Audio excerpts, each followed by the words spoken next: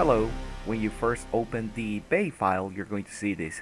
Immediately you can click here for the full render and then she's um, completely textured in the scene. This is a fully possible model and the way you pose her would be by coming here into the control rigify control rig going into pose mode and from there you can directly move and manipulate her with the usual rigify uh, properties that you have here in item where you can see that we have a hair lock in this case to hide all of the hair and the necklace lock bones that she has. You can also hide any other part that you don't like to see or that you are not currently working on so that you can have more control so over what you click and what you see. Now the important thing about this is that this model can be exported into Unreal Engine so this is how she looks in Unreal Engine after being textured. The most uh, majority of the materials will come except the skin which you have to recreate in Unreal because it's not compatible with what we have in Blender. But here she is and the good thing about this is that if you grab this uh, model which is you can see that this pink line down here this is the, the mesh you want to um, manipulate in this case or review, you can see that the, her entire bone hierarchy has been ported from Blender into Unreal Engine and that's great because that means that whatever you uh, do in Blender and export her that will come into Unreal Engine without any kind of problems. And therefore you can pose her however you want and you can even animate her and send the NLA tracks directly into Unreal and then you will see that everything corresponds with this character. Now the good thing about this and the reason why we have been experimenting so much is because if you right click on this and then come into create select IK rig it will immediately create remember this is the pink line okay? This is the model it says skeletal mesh. If you right click on there and select IK rig you're gonna get this yellow line identify as an IK rig. You can see it right there. So if you double click this as a Blender user of this new add-on that we have developed, you can just click auto create IK chains and then retarget chains. And it will give you 100% accuracy with what Unreal Engine expects you to create or do motion capture with this model. And let me show you how it works. First let's save and now let's close it. From there we can just right click on an empty space type IK you're going to get this IK retargeter blue mode or blue line. Select it. You can rename it as you want. I'll double click it and this is like opening a new module. From there you can just click here and select U IKU4 mannequin if you want it. So click on the foot press F to focus. You can then move the viewport. And in the target IK rig asset please notice we have the yellow line here we're going to target our IK final bay. And target mesh offset please set it to 120 so she's out outside. Now you can see that this does not match. She looks tremendously horrible. However we can edit this pose.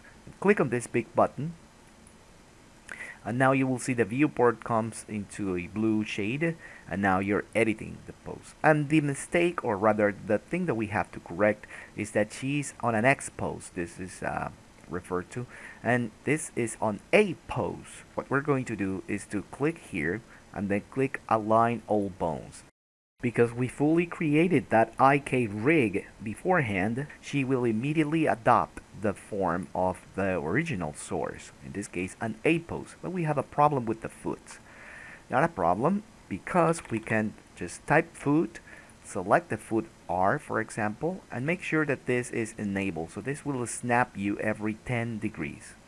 So type foot, enable the snapping, and just roll this 10 10 degrees. Let's go for the other foot. Select it. And again, you can just roll it down. Now let's go for the front. Okay, it's a little bit weird. So let's just roll it another 10 degrees on the z-axis. Again, I'll select the other one and I'll roll it on the pose. You can click back on editing retarget pose and it will switch to running retarget. So now that she is correctly aligned with this guy, you can see if we click here the only animation this model has is jog forward.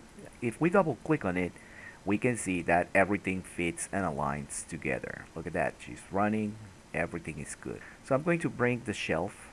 I have my quick magic motion capture folder ready. Right click import the game assets in this case and mocaps from quick magic AI which I call dance K1 and K2 I'm going to bring them both both of them have their own skeleton plus animation. So my options to import here have come uh, winded because you may probably see all of these parameters. You don't really need them because Quick Magic AI brings everything as it should. Just click import. And once it's imported, you can click on asset settings, which is the source IK rig that we previously had. And now we're going to select the Quick Magic pink uh, skeletal mesh okay? This is important so I'm going to drag and drop it here.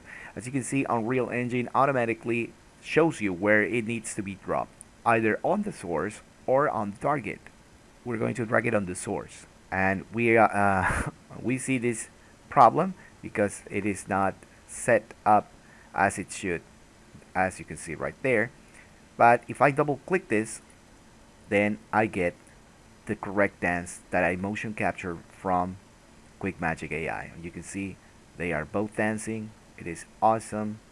Her head seems to be way up for some reason, but you can correct that.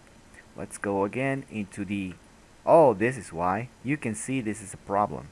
Because in the new motion recapture in the new motion capture file that we brought, this is the the, the starting pose no problem. Let's click on here to edit the pose again. Auto align align all bones and now they are both sharing the same pose. This is important for any starting motion capture cleanup or bake. Now let's go again into foot. Let's realign the foot once again because this is uh, an operation that can be done over and over. And once you have the correct preset if we can call it that way you can even save it. You can come here into create and create or a duplicate from the current pose because create will actually reset everything. But if you duplicate from current it will take your current pose which is this one and fix it. So every time you bring something new you can apply that pose as a preset from here. But that's another module I intend to show you in a, in a training course that I'm building specifically around the add-on that we have I'll be announcing later in the week. So anyways, we have this. Let's go back to the running retarget and, and you can see that they are now moving exactly as our motion capture file. So that's a huge advantage we have right there. The fact to be able to port from Blender into Unreal. So now let me show you what you're going to need to do because at the moment I'm not going to be directly sharing the add-on. There are a lot of things I need to explain in the in the live sessions that we're going to do. So this is important um, that you understand. You are going to get this file, and if you want to port Bay, you're gonna have to select your your mesh, select the root that you have right here. This is the actual rig that ports to Unreal Engine. Okay, you do not see it so make it available, make it visible, switch off the Rigify control rig and from there select base body, base hair, base, base face, base hair, all of the, the pieces and then you can select root. Okay, the root armature. From there just click on export, FBX, target your your directory and I'm going to be sharing this, the Unreal 5.4 export preset. So if you select that, it will automatically create all the settings that you need in order for you to send the animation from here into Unreal Engine. Now, this is the, then you click export and you're done. Your FBX will be out and then you will import it into Unreal. You do not have to select or do anything else. You just click import in Unreal and that's all. Forget about you know twisting bones, weird names. Uh, you don't need to do that anymore. We worked so hard five months into this uh, add-on. Um, but this is the normal regular way. Now let me show you the actual add-on. How does it look like? So if you come here into the uh, N panel tab, we have the add-on which is called Rig to U5. Rig2U5 is designed to streamline your workflow for creating a rig and sending it into Unreal Engine for game animation. So it is important that you have previous experience with that now. But if you don't have previous experience with that, I'm going to be creating an entire course around it, okay? From, from zero to hero. Even if you do not have experience with Rigify, I'm going to be teaching all of that into the course, which I'll be announcing soon. So let's continue. In this add-on, you don't have to even you don't have to even select anything. You just click export FBX to U5, target the directory, the Rig2U5 will show you, okay, I just found a rest pose. If you were to have animations and those animations were to be in the NLA, those animations will be ported once you click here because it will list them. There are a lot of features I want to show you, but not at this moment. All that you need to know is that manually you can also export this if you hide the rigify control and you show the root uh, rig select your bay and then send it to Unreal with the preset that I mentioned okay so this has been the shortest of the explanations I could show you so that you can use and pose Bay. Her name is Bay from the Niike's uh, video game uh, shooting series. So this is how you can do it.